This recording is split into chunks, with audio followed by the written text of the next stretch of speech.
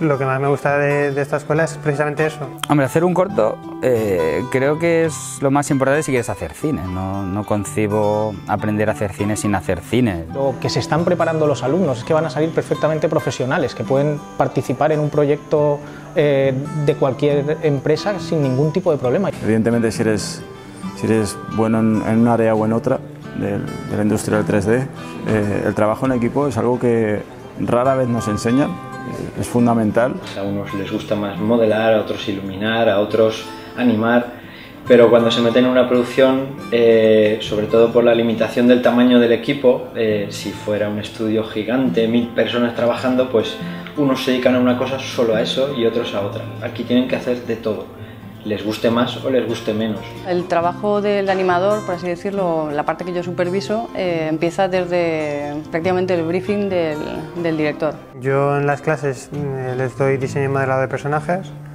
y en el, en el taller me encargo de la dirección de arte, todo lo que es la preproducción, concept, story, script, se intenta crear esa, esa, complicidad entre el alumno y los profesores para que haya confianza de cuando algo al alumno no le, no le, no le parece bien o no lo capta bien, tenga la libertad de, de, poder consultar una y otra vez y las que necesite. Los hago pasear por todo el pasillo, la gente los va mirando, pero bueno, es una escuela en la que a nadie le sorprende ver a la gente caminar o hacer cosas un poco raras.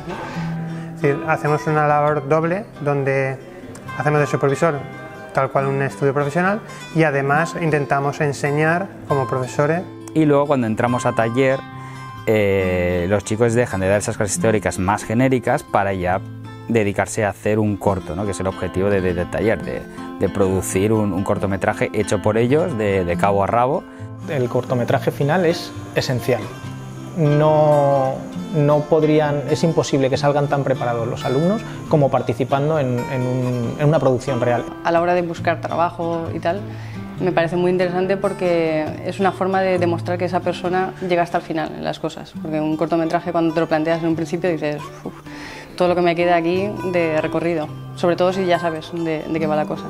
Entonces me parece súper interesante y creo que totalmente necesario que, que, pasen por un cortometraje.